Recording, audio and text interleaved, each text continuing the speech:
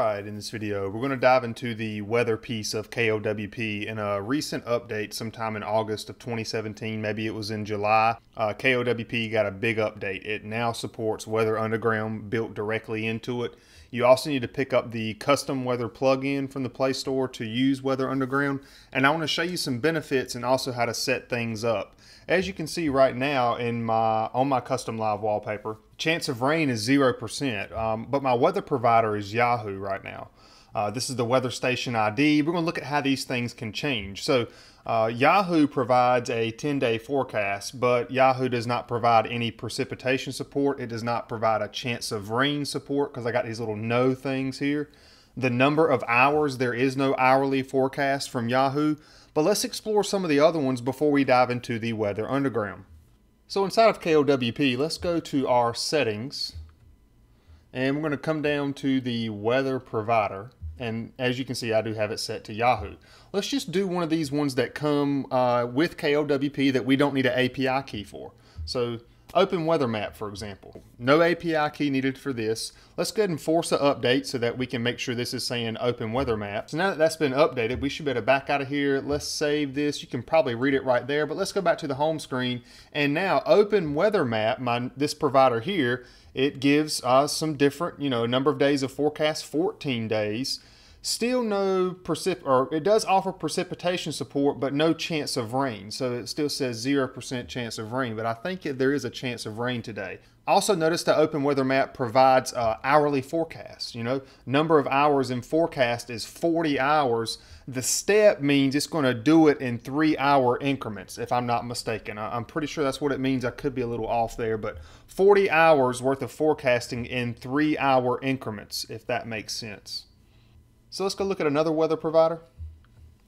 And looking at this list now, you can kind of see what's provided. You know, Yahoo only gives a 10-day forecast.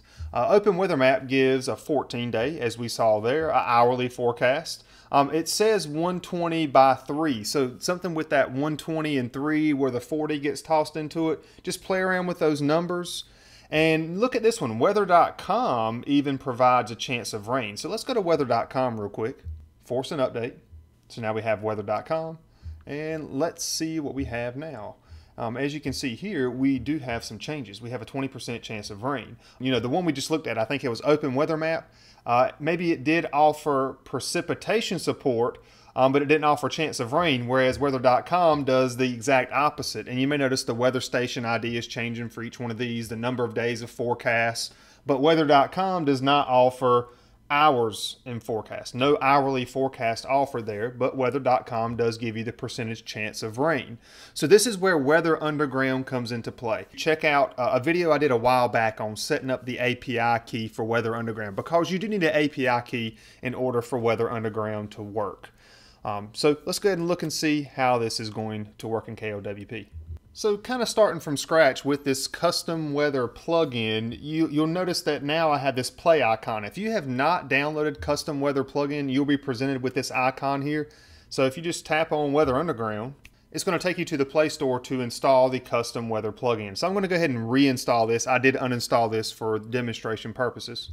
So once that is installed, open. And all this is is a plugin, so you can actually hide this from your launcher um, so you don't have to see this icon in your app drawer or whatever. But now back inside of KLWP, the icon is gone, and now we are ready to rock and roll with, uh, you know, if you wanted the Dark Sky, I think Dark Sky requires a paid subscription, but uh, Weather Underground, you can get a free API key. You just have to watch out for the number of calls that you uh, do. Um, and you can monitor that from the Weather Underground API website. So let's just tap on Weather Underground and it's going to ask you to use an API key and you want to copy and paste your API key into there. So once you have that API key in there, again, watch that video I did a while back on getting the API key and all that stuff. But now notice my weather provider is Weather Underground. And what it should do now, according to this network refresh, it should, you know, do a weather refresh every 30 minutes unless you're constantly forcing this, which makes me believe that it's going to limit the number of calls. And that was an issue we were having a while back,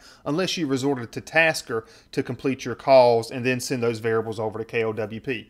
But all that should be fixed now. So Weather Underground is my current provider. And now let's see all of the new good stuff that we get with the Weather Underground API. We get yeses to everything, uh, precipitation support, uh, chance of rain support. As you can see, we have a 20% chance of rain where I am.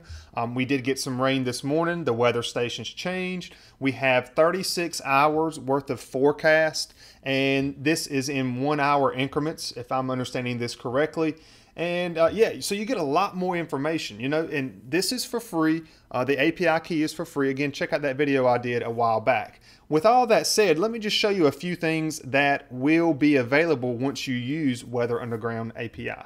So I have a text item centered in the center of my screen and we're just going to look at some of the things that Weather Underground provides to us. You can also get this information from the play.google.com website with uh, the Kustom weather plugin, but notice Weather Underground gives us a 10-day forecast, 36 hours worth of hourly forecast, and we get chance of rain and precipitation.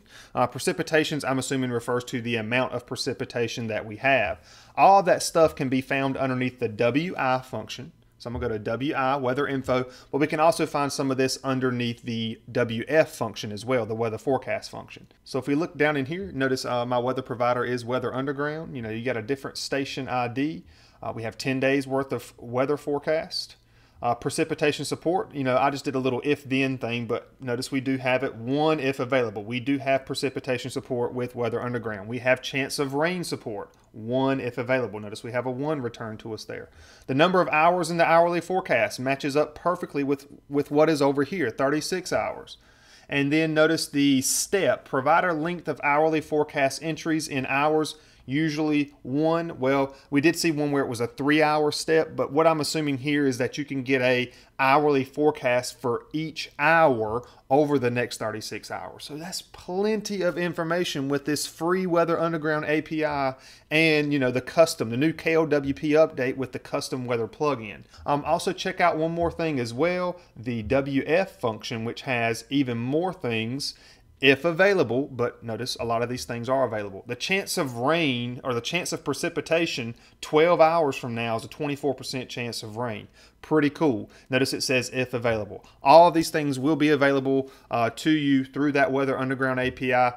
If you want to pay for the dark sky, have at it. But uh, I want to give you a real quick overview, you know, some pros and some cons of the weather providers that don't require an API key versus the ones that do require it. We have plenty of weather stuff available to us with this new update to KLWP. And there you have it. That's just a real quick overview of the Kustom weather plugin and the new updates to KLWP that we've had just, you know, within the last month. And that's it for this video. I hope it helped.